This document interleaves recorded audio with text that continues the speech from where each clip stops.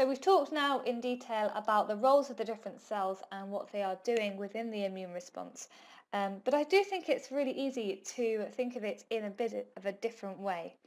We're now going to talk about the story of the immune response.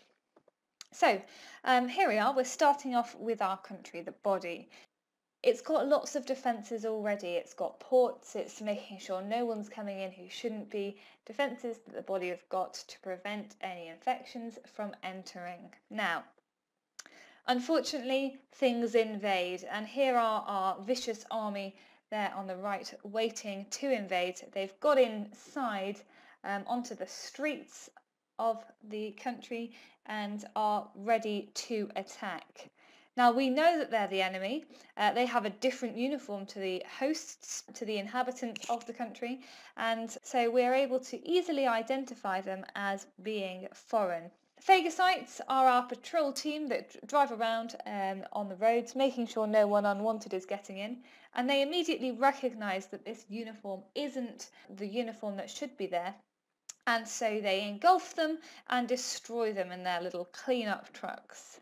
However, in an infection, the enemy are too strong. There are too many of them for the phagocytes to clear up. So the fighting begins. Uh, the pathogens get inside the houses, the host cells, and they start attacking the cells. They try and take it over. And the cells put up a good fight. The inhabitants try and fight back, but it's not always a success. During the fight, there are some injuries and what the inhabitants do is they display these limbs, the, the parts that have been torn off, the antigens, on the surface of their house, the, on the surface of the body cells, just for everyone to be aware of what's happened there. They've been affected, they've been attacked. It also marks it for destruction. They know they've lost, they know they need to be destroyed to prevent infection from spreading further. But it helps out the others. It shows off what they look like to any others who might be under attack to help uh, the immune system, to help the war uh, be fought. So these limbs, the antigens, are detected and the distress signal is sent out to recruit the army. And the first members to come along are our macrophages, our cleanup trucks, and they work by picking up any of the pathogens that are displaying these features, these limbs, engulfing them, taking them in, destroying them, and displaying part of them on the surface of the truck to help others be aware of what they look like.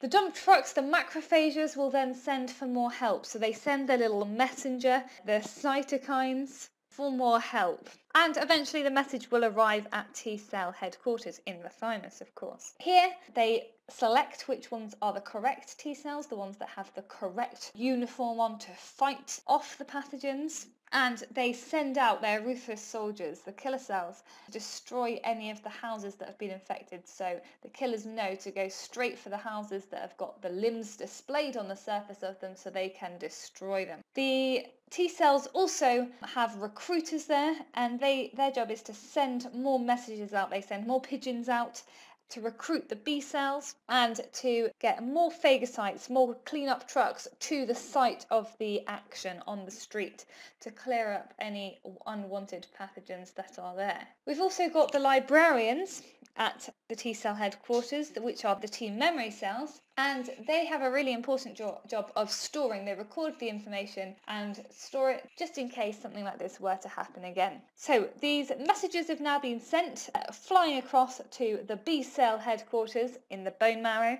and the message arrives and they get the message to start being selected to start differentiating. The scientists, first of all, the plasma cells, will use samples of the limbs, the antigens, to come up with a formula for a weapon that is going to fight off the pathogens. So they create antibodies using the antigens that have been presented by the other cells. This weapon will then act in a couple of different ways. The weapon can clump together the horrible pathogens, sticks them all together so that the cleanup trucks can can do their job a bit easier um, or it can actually destroy them by breaking down their skin. The B cell librarians, similar job to the T cell librarians, they are recording exactly what formula was used to generate the weapon and if anything happens again, they will of course go back to their records and produce the weapon a lot quicker the next time.